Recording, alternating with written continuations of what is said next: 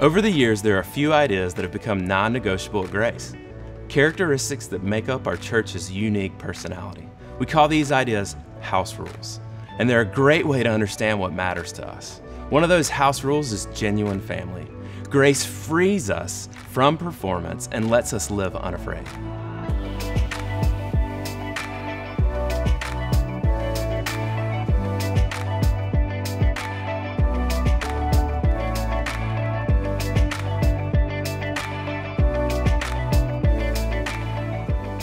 Everyone has a different reaction to the word family.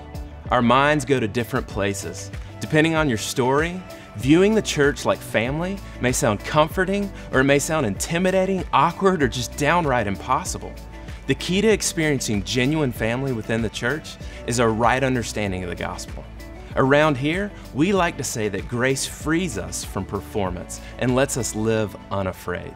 You know what that means?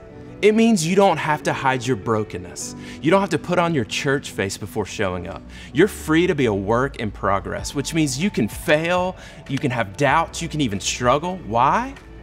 Because our hope doesn't depend on our ability to please God or impress others. Our hope depends on the death and resurrection of Jesus. So I just want to ask you will you take a next step toward the genuine family of grace?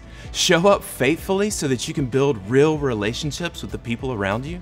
Genuine family is one of the greatest gifts of Christianity. It's a tool God uses to heal, mature, and strengthen us. And best of all, it's a gift that lasts for eternity.